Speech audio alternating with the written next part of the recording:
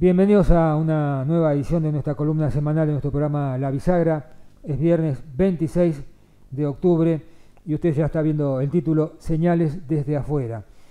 Hace una semana exactamente emitíamos nuestro programa en la jornada de cierre del 54 coloquio de idea y recordábamos a su vez la columna que todavía está en nuestra página web de hace dos semanas atrás que titulábamos Luces al final del túnel.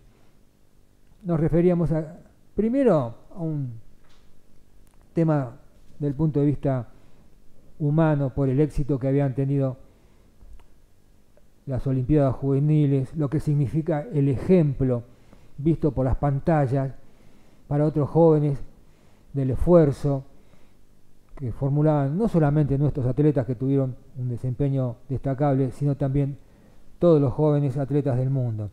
Pero además, decíamos, luces al final del túnel porque era visto que a lo largo de esta semana se iban a producir dos hechos, la semana que está terminando nos referimos, uno de ellos que nos hemos cansado de señalar a lo largo de estos últimos meses, que era finalmente el debate en el recinto del presupuesto nacional, que lo consideramos un eje para que oficialismo y oposición pudiesen llegar a algún grado de acuerdo o por lo menos expresar sus desacuerdos, pero que finalmente hubiese un resultado en una norma que sirve para manejar la administración pública, no solamente la nacional, sino también las provinciales.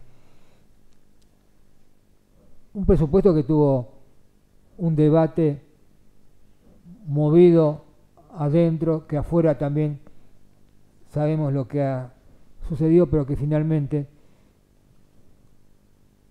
era su sanción la llave para destrabar el otro hecho de la semana destacable que sucedió en este día viernes.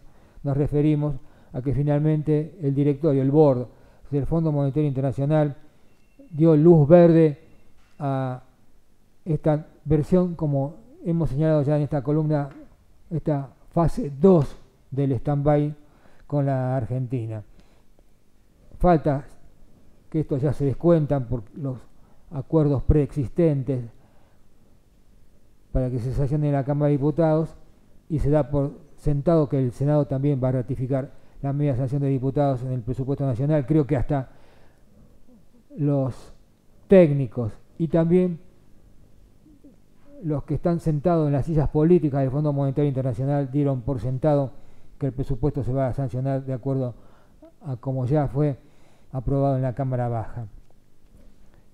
Y del punto de vista político hay que hacerse preguntas. Todas estas dimes y diretes, estas pulseadas tienen consecuencias políticas. ¿Lo podemos en términos futbolísticos? ¿Quién ganó? ¿Quién perdió? O a lo mejor en materia de imagen dada por algunos frente a las cámaras de televisión y lo que sucedió a lo mejor dentro del recinto, es como que, y también algunos de los acontecimientos de fuera del recinto, es como que han perdido muchos, no todos quizás, pero sí muchos. Son muchos interrogantes que hay que formularse a futuro y que los hemos formulado en nuestra edición de esta jornada, encontrando respuestas en dos interlocutores. Uno, el analista político Jorge Giacobbe y el analista internacional Jorge Castro. El primero de ellos, Jorge Giacobbe, nos señala que la medición que siguen haciendo en las últimas horas indica que el 70% de los encuestados siguen divididos por partes iguales entre macristas y kirchneristas y un 30% que se debate una porción en las izquierdas y otra en un peronismo que trata de buscar su rumbo. Estamos hablando, por supuesto, en la posición a 2019. Y desde el punto de vista externo, con Jorge Castro, nos apuntaba, dando por sentado que este próximo fin de semana Bolsonaro va a resultar presidente electo de los brasileños, nos apuntaba que por cada punto que crece Brasil y cree él que con Bolsonaro Brasil va a retomar la senda de crecimiento porque va hacia una apertura, por cada punto que crece Brasil, Argentina puede llegar a crecer un cuarto de punto, lo que cual tracciona a la economía argentina.